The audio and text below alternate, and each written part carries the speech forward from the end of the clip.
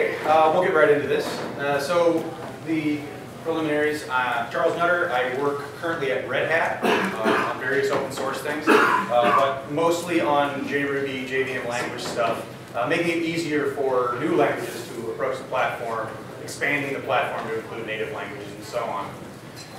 So the structure of this talk is kind of going to be a story, a play in three acts talking about work that we've been doing on JRuby for the past almost decade now. Uh, the challenges that we've had to meet dealing with the JVM and some of its limitations, and how the JVM and JRuby are evolving together to make this easier in the future. So we'll talk a little bit first. JRuby, of course, is basically just Ruby on the JVM. Uh, it's a project that's been around for quite a while. In 2001 was the initial commit to JRuby, which basically just started uh, implementing the parser. I think mostly they were looking at doing it for tooling, and then decided, hey, we've got a parser, we can make an interpreter, we can start building an actual Ruby runtime on top of the JVM. Uh, but for about five years or so, it didn't really move very quickly. It couldn't run most Ruby code. It was based on an older version of Ruby. Uh, the Rails singularity that happened within the Ruby community was during that period. And so around 2005, 2006, uh, I got involved in the project and we thought, well, why, why can't we? Is there any reason we couldn't actually have JRuby on Rails? Run, J, Rails running on top of the JVM, taking advantage of JVM libraries and the JVM itself. Uh, and in 2006, we actually were able to do this. We presented at JavaOne and showed Rails running on top of JRuby, on top of the JVM. A very early, primitive, hacked together form, but it was, it was a beginning. Uh, fast forward to this year, and uh, we're working on JRuby 9000 now. Uh, this is actually the ninth major release of JRuby that we've had since 1.0, so 1.0 was the first one. Uh, and we're now looking at a JRuby that is orders of magnitude faster than the one from 2006. We're looking at running much more Ruby code, running Rails applications in production for real customers uh, folks like Square, folks like SoundCloud that run JRuby as key parts of their infrastructure. Uh, and it's a lot of work to get to this point. This is what I ran last night just to see where our master branch was at. This is 29,000 commits that have been into, gone into JRuby over the years. And this doesn't count all the work that we've done on maintenance branches for each of these releases too. Uh, so there's obviously a lot of work, but why would we suffer through the challenges of bringing a language like Ruby to the JVM for nine years, almost 10 years now we've been working on it? Uh, but the bottom line is that we, we were old Java guys. We know the JVM well. We know its ins and, ins and outs, or at least we thought we knew all of its ins and outs.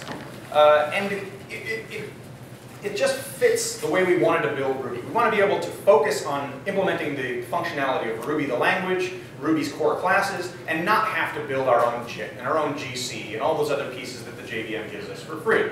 So the JVM is kind of this magical black box that we can just throw our stuff at, throw our code at, throw a Ruby interpreter, do a little bytecode generation, whatever, and it will run our code great and everything runs fast. Except when it doesn't. And that's what the challenge and the interesting part of working on JRuby for these nine years has actually been. When the JVM can't do what we need it to do, how do we make that next step? How do we cross that line of impossibility? The JVM can't do it, most people just give up. We don't have an option, so we find new ways to do it. So we're left with this challenge. We want to make Java and Ruby work really well together uh, and not only work well together as a JVM language, but work well as a Ruby implementation. So Ruby users get the experience they expect out of running JRuby, uh, running Ruby on top of the JVM.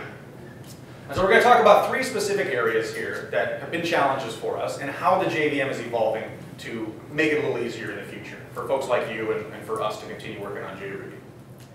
Uh, so first off, we're going to talk about just the, the, most basic primitive concept in Ruby where all the performance is generally lost, uh, all those method calls that we make in a typical Ruby application. Uh, here's a, a metric I, I, ran real quick just this morning just to see how many simple calls, and this is like just calling the foo method or calling a.foo on some object. Um, so there's other types of calls doing super invocations and whatnot uh, that aren't listed here. But you know, for doing things like gem installing Rails and all of the dependencies that it needs. 315,000 calls that are made, Ruby calls. Uh, making a, generating a new Rails application, 606,000. Uh, and this is generating the app plus installing additional dependencies needed for a running application. Uh, I did some a quick CRUD application and just ran through all four operations. Uh, about 16,000 to do all, all four CRUD operations. Uh, so that's you know roughly going to be like a 4,000 per request, just to do a really basic display of some data. So we need to make these method calls fast. And the problem that we always had in JRuby, we've got a, a simple example here, foo calling bar calling baz. Uh, and on Java 5 and 6, uh, what we were building JRuby on most of, the, most of its lifetime, uh, we've got all this extra call logic in between these. Uh, we need to go and look up the method type. We need to make sure we've got the same class in, in hand that we expected last time. We've got to do that dispatch. And unfortunately, the JVM is very bad at optimizing through a generic piece of code.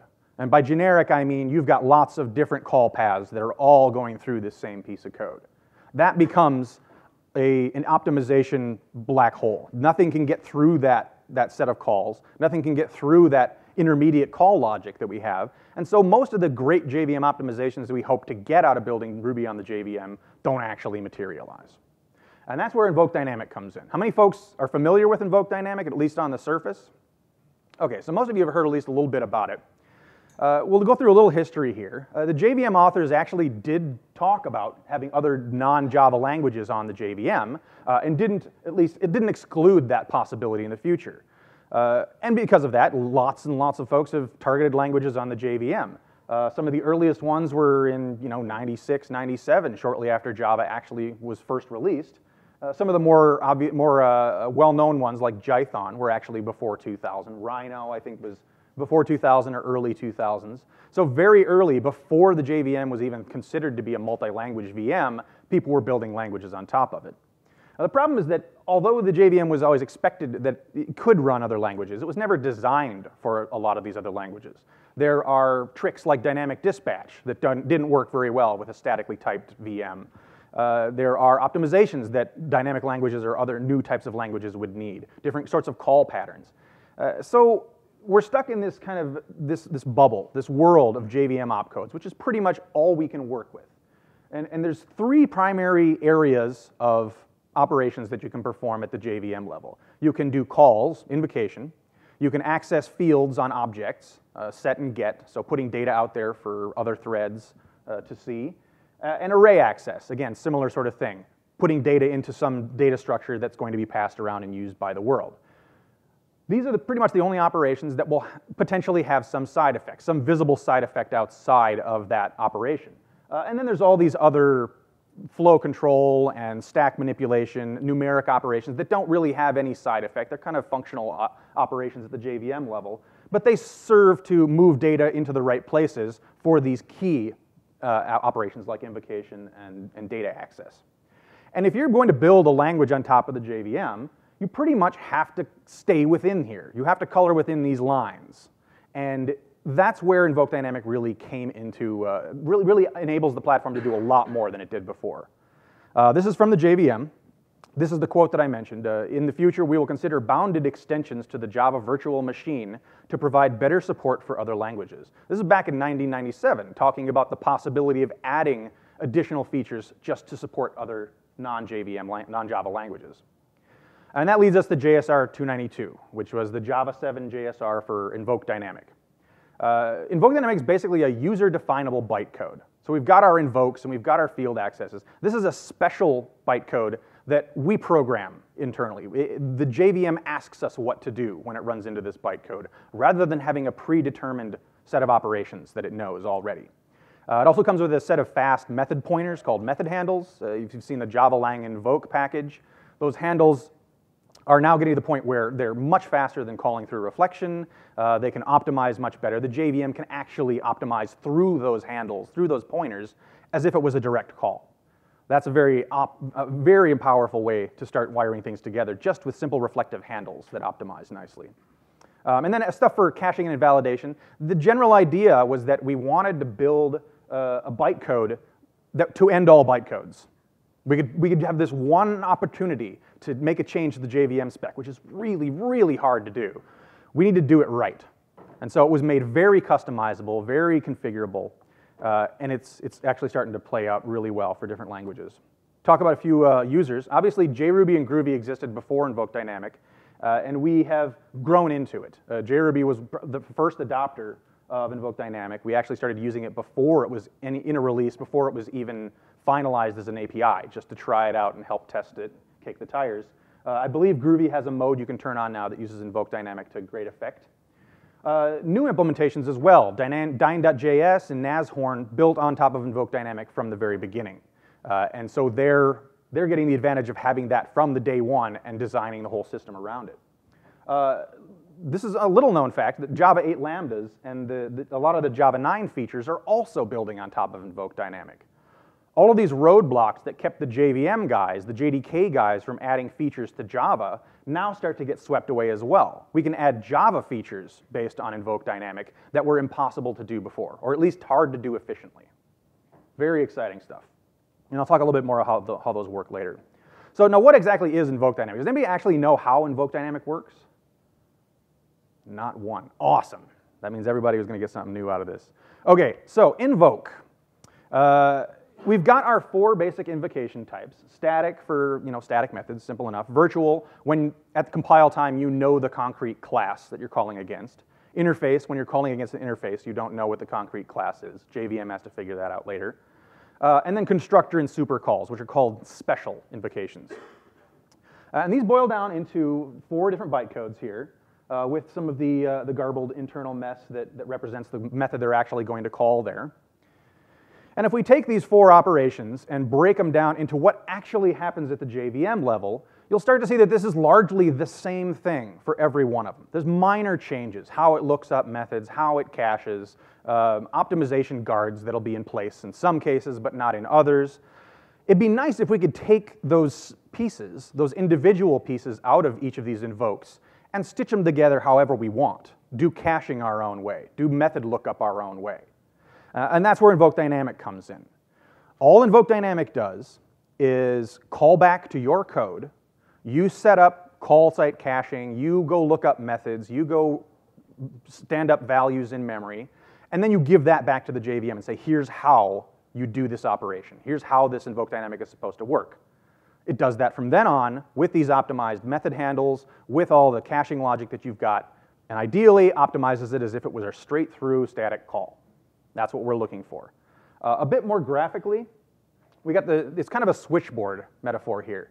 So up at the top, we make our call, and that's an invoke dynamic that we, we need, there's something out there, some piece of data we need to get, some method we need to call. Our invoke dynamic starts right there.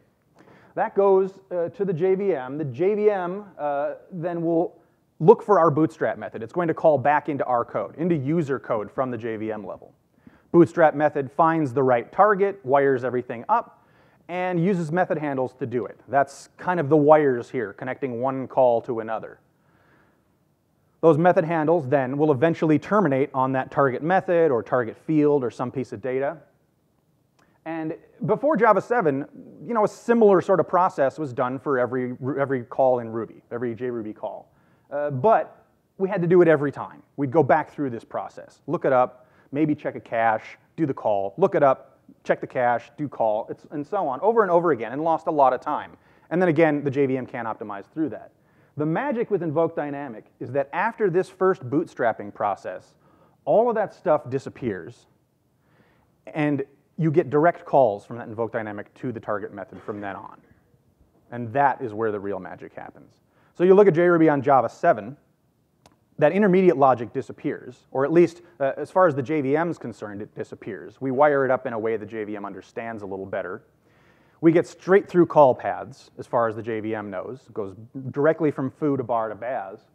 And all those great optimizations that we get out of the JVM, like inlining, actually do happen. And we, we see this happen Ruby inline, to, in, inline into Ruby, Java inline into Ruby, vice versa all of this stuff actually does work and works really well on current JVMs. So invoke dynamic in JRuby, obviously we're using it for method dispatch. Uh, it's pretty simple, our logic. Look up the method. Uh, we have a cache that says what the last type was and whether it matches. Uh, invalidate it if the class changes or if some new type comes in. And we might chain those so we have two or three types that are available, three, two or three types of, uh, two or three methods cached. We also use it for places like constant lookup. Uh, in Ruby, constants are defined lazily. Uh, they can also be forcibly modified. Uh, it's generally not done, but it can be done. Uh, so we have similar caching logic. We go out and look up the constant. We have a cache that rarely is broken, rarely has to be invalidated. Uh, the JVM then can see that as a true constant, even, in, even though in Ruby it can change at any time, and it can optimize it as if it were a constant written in the code directly. All right, now how well does it work for us? Uh, this is a chart basically showing how much faster we are than uh, Ruby 1.9. The performance numbers for 2.0 to 2.2 aren't significantly different here. Uh, these are, this is JRuby baseline. Uh, this is, I think, JRuby 1.7 or so uh, on a Java 5 or 6, where we've got that logic preventing the optimizations from happening. And this is what it looks like with Invoke Dynamic. Just by switching these calls to use Invoke Dynamic and changing nothing else in the runtime, we get this much improvement, um, a significant improvement on the red-black there. Uh, so much so that we actually wanted to explore this a little further.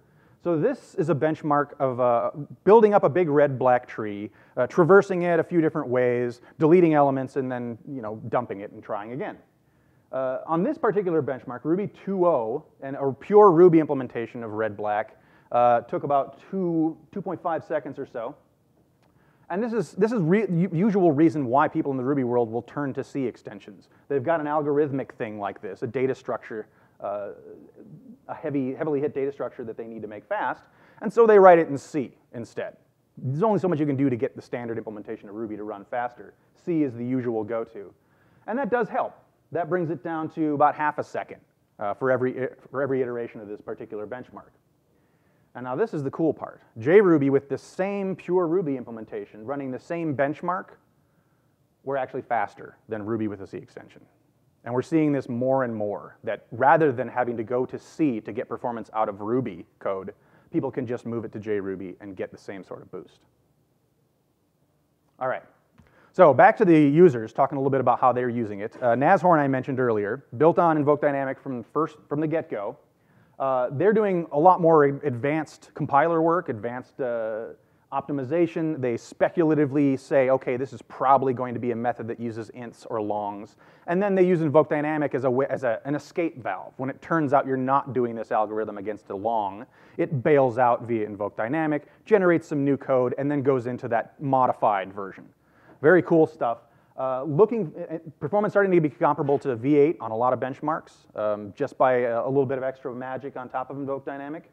Uh, and they're, they're very interested in turning the work they've done on Nashorn into a general language framework. So everybody that wants to use Invoke Dynamic, a dynamic language, type specialization, optimizing numerics and whatnot, will be able to plug into this and have the same thing. So that's really cool. Uh, I mentioned that lambdas in Java 8 use Invoke Dynamic. Uh, this, it, it, works very similar to inner classes, but it lazily generates that class. It doesn't need to have that on the, on the, command, on the, uh, the file system. It doesn't need to be in the jar. You don't need these dollar $0, dollar $1, and all that. Uh, Invoke Dynamic is used to basically generate it on the fly, if you actually get to that point. And this is a, an example of the bytecode. So we've got a sort that we're doing with uh, a simple integer compare. That's our, uh, that's our lambda there. The invoke dynamic goes out and generates that class, wrapping all of this code that is used for the, uh, the actual string length calls and the compare, right here.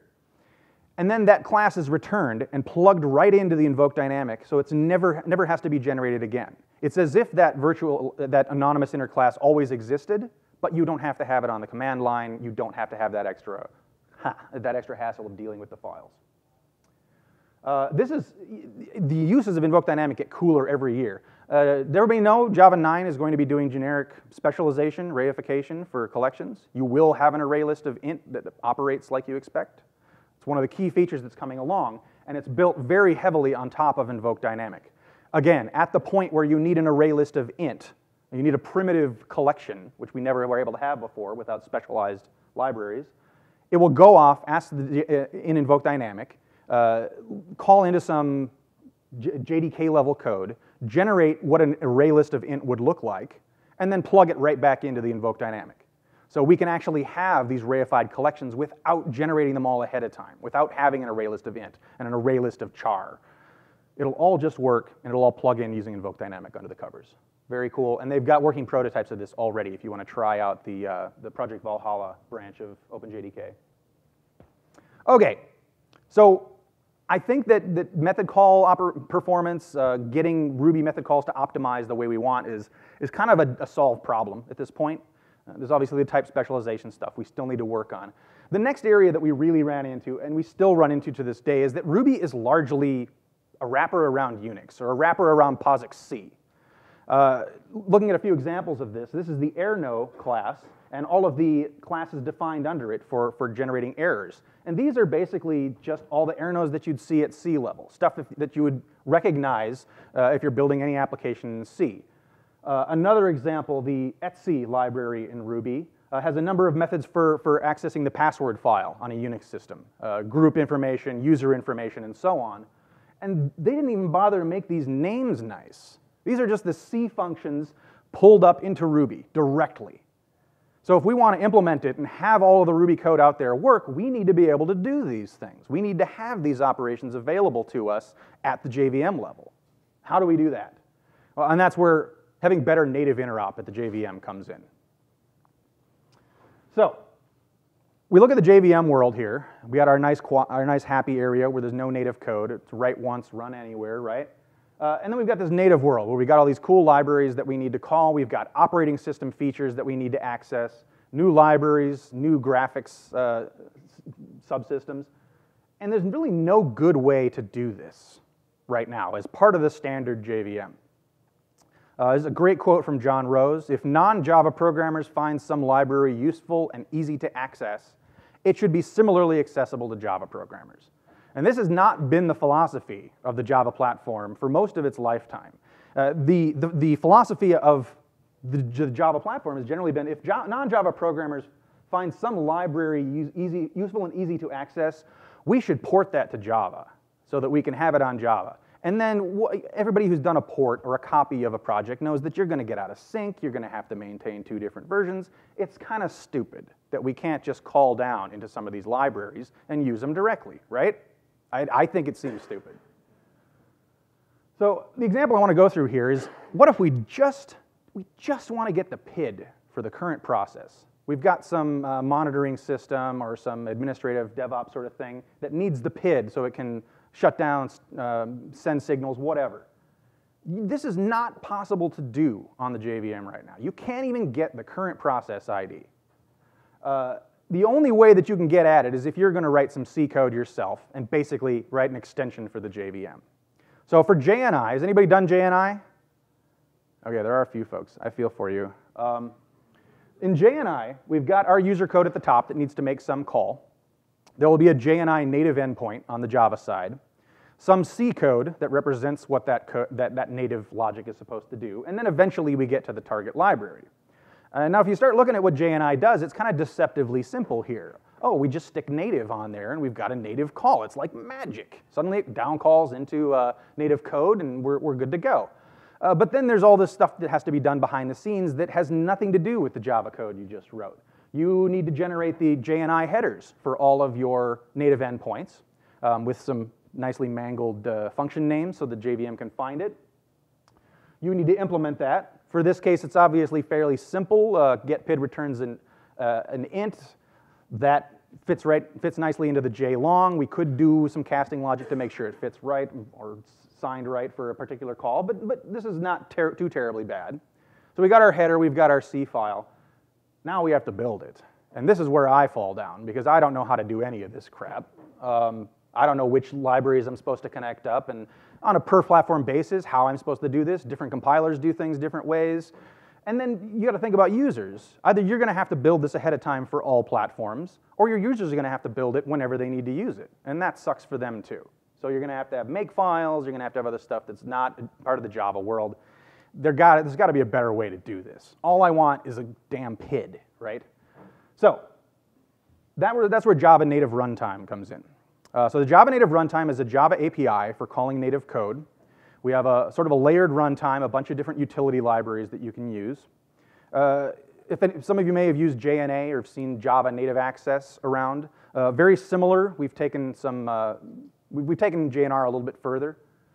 It's essentially a foreign function interface. If you've ever dealt with anything in the C world that uses FFI, it's a foreign function interface for the JVM. Um, and there's the organization on GitHub where we keep all the projects, JNR. So what we can actually do with JNR is go from this situation where we have to implement everything in purple here, uh, including stuff that's not in Java and has nothing to do with what we actually want to get done, to this. We've got some user code that defines an endpoint in some C library, says here's the library, here's the function, here's the parameters and return value, just let me call the blasted thing. The JNR stub underneath that figures out how to wire that into Java types. The JNI call actually makes the invocation, and then all that logic is pre-built for every platform, so we can just ship a simple library plus our two or three lines of Java code. So this is what getpid actually looks like in JNR. Uh, we define an interface that has roughly the uh, function prototype of the C function we want to call. We tell the library loader to create a version, an implementation of this interface based on the function coming out of some C library. And then we have in hand an object that we can call those C functions directly on. Much better than the JNI version, I think. Uh, I mentioned the layered runtime that we've got. We're going to go through a few of these. Uh, JNA kind of stops at the point I just showed. You can call into functions, you can define function endpoints, but there's not a whole lot of, of support code available for you. Uh, first of all, I want to mention the platforms. We don't want to have to rebuild this every time we go to a new system, so we ship with support for all of these platforms. Tiny little native stub that's in the jar unpacks itself as needed and then dynamically loads. Uh, if anybody has a platform that's not on there, I'd love to hear it. Uh, we do have, yes, OpenVMS is, is, I think, working now. For all you OpenVMS users out there that really want to jump on that, um, AS400, Z-Linux, mainframe Linux, we've got all the support for this stuff. Uh, there are certainly other platforms that are come along, but it's very easy for us to build a small stub on any platform, stuff it into our build, and it's good to go. Uh, so JNR FFI is basically the code that I showed you. That's the, the JNA equivalent. That's the basic library for, for wiring up some C library. Um, and again, there's that example. Pretty easy to do. Uh, and of course, once you've got the basic plumbing wired up, it's easy to add new functions to this as they come along. Uh, but of course, a lot of these things are standard operations that everyone's going to need, like getpid. We don't need to have everybody in the world write their own getpid interface and their own load logic to get the, uh, the getpid operation available. So we built our first layer on top of JNR, JNR, JNR POSIX, which basically pre-wires a whole bunch of common POSIX functions that most users are probably going to need. Uh, this is a small snippet of the ones that are defined. Things like uh, chmod, chown that you still can't do as well through JVM APIs. Uh, fork is on there and does not work very well. You can imagine what sort of horrible things forking a JVM would do. Um, you know, things like GC, GC, threads that don't come along for the ride, kind of a problem. Uh, what else is good? Our getpid call is in there. Uh, kill, doing actual signal operations, getting raw environment variables and setting variables into the current environment. Um, down at the bottom, hard to see here, we've got POSIX spawn, which is like the ultimate toolkit for spawning subprocesses. Uh, and uh, incidentally, there's a JNR process uh, package that I'm working on that skips all of the process builder nonsense and goes straight to a raw spawn call. So you get real, real channels out of that process. You can do select. You can actually control interactively a subprocess. Pretty much impossible to do through the JV, JDK process APIs. Uh, so here's what our getpid looks like now. We go to POSIX Factory, we create a new instance. Uh, you can create your own handler. Uh, you can make errnodes raise an exception rather than do a return value, things along those lines. Uh, whether you want the native features to be enabled or use only the pure Java emulation of POSIX APIs. And then down at the bottom, once you've got it in hand, you just do the call. So we've got POSIX, uh, we've got a POSIX instance for every JRuby instance, and that's where all of our logic goes to call through to the, the native functions.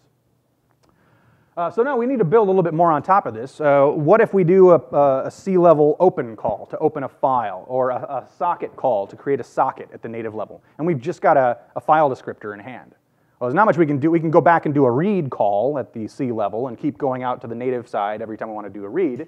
Uh, but then you get things like select, which are more complicated. They're different across platforms. The APIs don't quite match. Uh, there's low-level control over these file descriptors that you really can't do at the JVM level. Uh, so that, that's where we get ENXIO, JNR ENXIO, Extended Native Cross-Platform I.O. This is basically NIO compatible, so it fits into all, everywhere else we use channels and streams in the JVM, but it does native calls for every operation through JNR. It does a native read, it does a native uh, kqueue or ePoll for the select logic. It does the right things on all different platforms, but you can just pass in a native file descriptor. One thing that's really fun to do with this, you can take, the, you can take this and pass in any of the standard I.O. descriptors and have fully interactive, selectable standard I.O., which you don't actually have any way to do on the JVM today. You can't select against standard in, for example, when you're waiting for input. Trivial to do with this. Built on top of this, um, again, trying to add more of these features we expect lots of people are going to need, JNR Unix socket uses JNR ENXIO, provides a Unix socket implementation in an NIO channel, just looks like any other NIO channel in the system. Selectable, works like a socket, it's perfect. So what else can we do with this? Well, honestly, if we could have this at the JVM level in the JDK itself, we could do, we could have done NIO and NIO2 ourselves in Java, basically. We don't need to have the, J, the, the JVM include a bunch of native code to do these things anymore. And that's really exciting, especially for the JDK engineers that want to add some of these new features, especially like desktop integration. Have to wait for the next JVM version to include C code for it? That sucks. We don't want to do that. Uh, accessing unmanaged memory. A lot of people go through unsafe to allocate a chunk of memory and work with it directly. We can do that trivially. Call malloc. That's all there is to it. Call malloc, and you get a pointer object back that lets you in, interact with that chunk of data uh, out in the native world very easily. I mentioned selectable standard I/O and process I/O give much more interactivity to those streams. Uh, and then you know other socket types, new APIs, new crypto libraries, all the stuff we could do without ever writing a line of C code. So I think this needs to be in the JVM, and we'll talk about that a little bit later. Uh, Performance-wise, uh, getting back to why we don't use JNA, sadly, uh, we do a lot of work to make this run as fast as possible. Uh, the code leading up to the JNI call is generated, so ideally it's just one hop from your call to the JNI endpoint. On the other side, the C code, we actually generate assembly on the fly, link it into the JVM, so that it's hopefully one call from your native invocation uh, in the Java side to the actual library. So maybe two or three hops total. Uh, this is comparing JNA and JNR. Uh, JNA is the pluses, JNR is the circles here. And this is a, a, logarithmic scale. JNR is roughly an order of magnitude faster than JNA. Uh, and so you can imagine when we're using JNA to do all this stuff before, how much of a performance impact that actually was. Uh, you can improve it further. There's ways that you can customize these calls. If, for example, you're not at all interested in the errno value and you don't need it to be saved off, you can throw ignore error annotation on that and get another 25% or so out of it. Uh, if it's a raw call that you know is unlikely to fail, like a getpid call. There is certainly more to do here, though. Uh, this is JNR uh, with, with and without the ignore error, JNI in the circles. Unusually there that JNR with ignore error is faster than the JNI version. I'm not sure why that is. Uh, and then the GCC O3, uh, potentially optimizing some of this getpid call away, but there is still non-trivial work being done here for the benchmark. Uh, and it's much faster than what we have at the JVM level, just going through JNR. So that's where Project Panama comes in. This is JEP 191, FFI for the JVM. Uh, what we're working on right now, or what the JVM folks are working on right now, is the JVM side of this. How to actually make these native calls optimize fast, so that when they generate optimized assembly for the Java code, it just goes straight through to a C call to getpid, rather than going through all of our extra plumbing. That's possible to do, and they're getting close to that now. Um, there's also possibilities of getting better security for this, having fine-grained control over, I want to load the libc, but I only want these functions to be mappable. Nothing like that exists in the Java security model at the moment. Uh, and then having method handles for, this is a native function, make it optimized like a method handle in Invoke Dynamic. So I can actually have my Ruby code do a native call, and it does the native call in the generated assembly.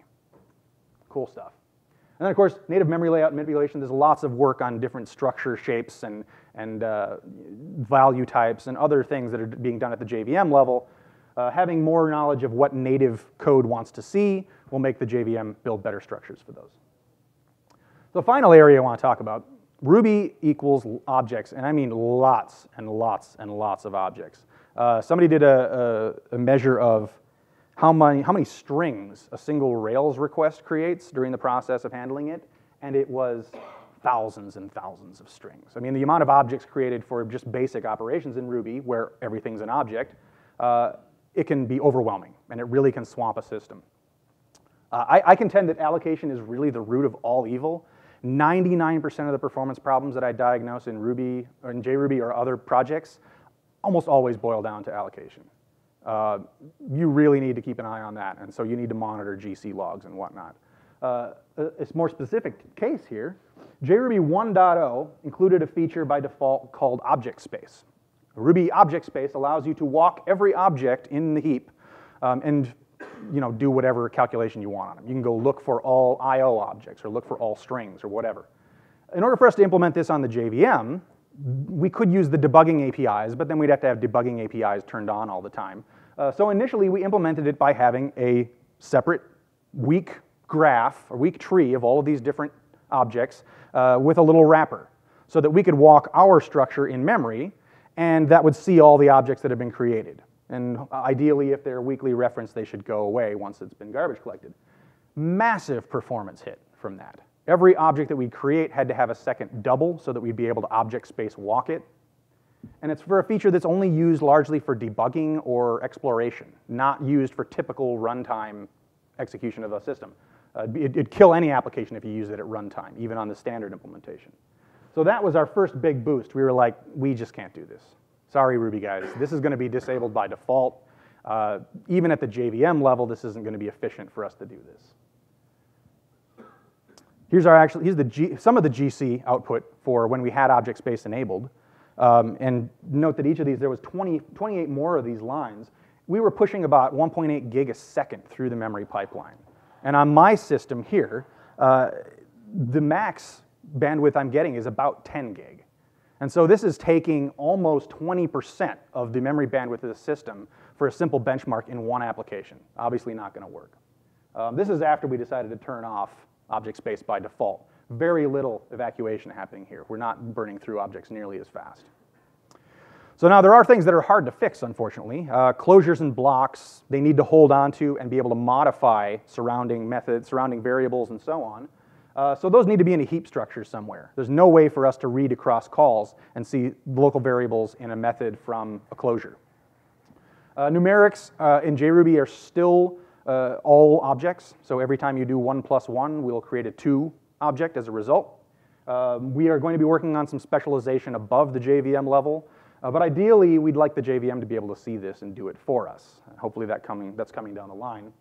And then there's a lot of Ruby code that looks like this. We've got these transient data structures that are used to do some simple operation. Very convenient APIs. Here we're going to take each of these objects, we're going to call to_s on them to turn them into strings, sort them, and then get the first one out of that.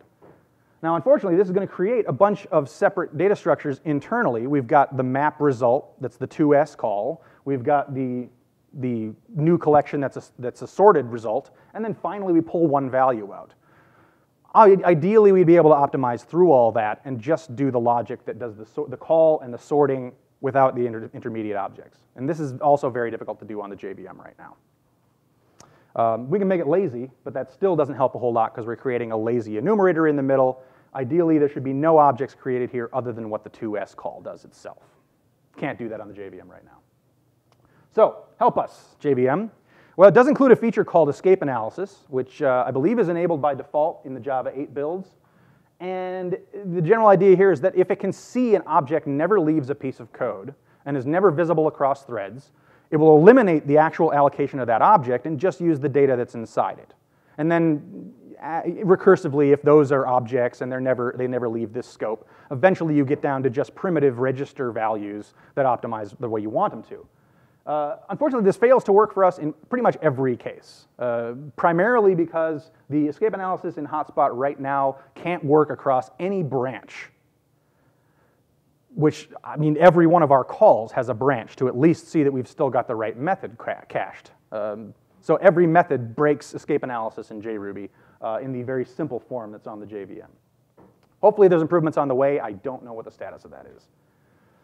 So this brings us to uh, another framework that's been helping us bridge, uh, deal with some of these allocation issues, Truffle. So we start out, we look at what it takes to actually build a language on the JVM. And this could be a dynamic language, a static language, whatever you want. The same basic uh, steps apply.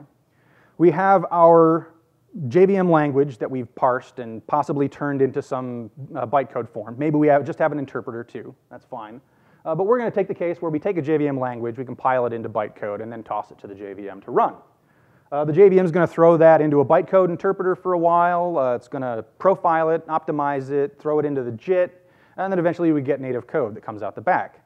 Now the problem is that all that magic in the middle, the cool stuff, we'd have no control over. There's no way for you to give compile hints to the JVM. Uh, there's no way for you to tweak it at runtime. You can tweak some of the settings, some of the, uh, the, the metrics it uses at the command line, but no way to change it at runtime. So we have no control out of this, uh, on this section. And this is where it gets very frustrating for us. We try to find a way to uh, form fit Ruby code for what we know the JVM can do. That's not what, that's not what we want. So what if the JVM's JIT optimizer were actually written in Java, and we could customize it and call into different pieces and, and change the way it optimizes our language? Uh, and that's where Graal comes in. Graal is a project out of Oracle Labs, 100% Java JIT, essentially. Uh, you could think of it as Hotspot ported to Java and then running on top of the JVM. Uh, it can either emit assembly or it can actually output Hotspot IR, uh, which is the intermediate form Hotspot uses to generate its code. So you'd have Graal do its work, Hotspot do its work, and then finally you get native code out the bottom.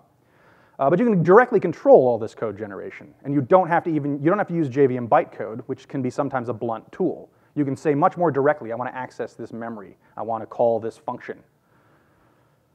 So we look at this uh, with the Graal setup. We've got our JVM language. Instead, we generate a Graal intermediate representation. We use Graal's bytecode, essentially. That's a, that goes into Graal's optimizer. Um, and again, this is all Java code, so we can plug into this process and add our own optimizations that are language specific, uh, make things optimize more like Ruby should optimize. And then eventually we do get our native code out the back. Uh, but we got a lot more control over the process. Now, unfortunately, the problem here is that not everybody is a compiler writer, and this is a very low level, very rich, very complicated IR within Graal. Um, as you can imagine, this is bridging from the Java world to actual native operations, CPU level operations. So there's a lot of understanding required to actually write Graal IR. Uh, we need something a little bit better than this too. So the dream is that we design the language, we've got some amount of steps in the middle, and at some point in the future, everybody loves our language and we travel around the world to talk about it. Uh, what we really want this to be is the absolute minimum amount of work. Write the interpreter, and we're done. Everybody can write an interpreter. Probably everybody in here has written some sort of interpreter for a general purpose language or a specific language at some point in their life. If we could just do that and then have our language be as fast as everything, that'd be great. And that's where Truffle comes in. Uh, Truffle is a language framework built on top of Graal. Uh, it, all you have to do is create your parser, so you know what your language looks like, produce an AST, and the AST gets marked up with some annotations in Truffle to say, here's an integer path, here's a long path, um, here's how you, here's a, a, data structure that's only going to be used temporarily. Uh, and based on the interpreter and the way that it runs, Truffle can actually do all that work in Graal for you and optimize it as if it were written specifically, as if the VM were written specifically for your language. It's really amazing. A very similar approach to what they do in PyPy, if anyone's familiar with that. You write an interpreter, and based on how the interpreter runs, it can generate a JIT for you. Really cool. So all we really need to do here is write our JVM language and create a truffle AST. That goes into Graal, optimizes down, and we've got fast native code that's based on our language's actual semantics. Uh, Chris Seaton uh, is working uh, with Oracle Labs right now on Ruby implementation as part of JRuby using Truffle. Uh, it was called Ruby Truffle before. We kind of call it JRuby plus Truffle now uh, because we, I, I, guess I talked to the right people. We managed to convince Oracle to take this closed source Ruby implementation that was amazingly fast and give it to us under our licenses. I, am shocked that it actually happened, but it is part of JRuby now, and it will be released with JRuby 9000. And how much better is it? This is a graph on the far left, hard to read there, uh, JRuby 1.7 with invoke dynamic, which as I showed is four or five times as fast as the C implementation of Ruby. And on the right, the far right, that's Truffle, Ruby Truffle. uh, in some cases as much as 20 times faster than JRuby plus Invoke Dynamic. And this is 90% of this improvement is because they can get rid of all those extra objects, because it sees through allocations much better than the JVM does, and we can give it the hints that it needs to wipe those objects away. So I mentioned Ruby Truffle is part of JRuby now, and will be released in JRuby 9000. Um, there are many other languages in the works, and it's actually really easy to build languages on top of Truffle. Um, just the trivial case, an AST or an interpreter that just uses object, it'll still actually optimize pretty well. Then you can throw in your specializations as you need them. Uh, it might be become part of OpenJDK. Uh, it's a possibility in the future. It's not likely to happen in Java 9 given the time frame. Um, is, the other half of this is that it's also forcing the hotspot folks to, to think about priorities. Uh, hopefully the hotspot guys will realize that you know, escape analysis uh, with, in, with, a, with unclear future for those objects is something we actually need. We need to be able to do escape analysis even if we can't see through all the code. All right. So wrapping up here. So what have we learned? I mean, I, I, can't really say what you've learned. Hopefully you've gotten something out of this. What I've learned over a decade of working on JRuby is that there's really nothing that's impossible on the JVM if we're willing to uh, route around it a little bit. And I've also learned that the folks that work on the JVM and work on the JDK are extremely interested in avoiding those workarounds and making it possible for us to just use the JVM as is uh, and have all, this, all these features come along without extra libraries and extra work. So hopefully that's what the future is going to look like. The JVM does have a problem, but we can fix them. And in the interim, folks like us will help you route around them. Uh, now, one thing I want to, the last thing I want to say here is uh, this is all open source. Uh, you really can help with this. Graal, Truffle, uh, all the JNR stuff, obviously JRuby, JRuby plus Truffle, the JVM itself. Uh, with, that, with it open source, with a little bit of knowledge, nothing is impossible on the platform, and we can make all this stuff reality for the future. Thanks.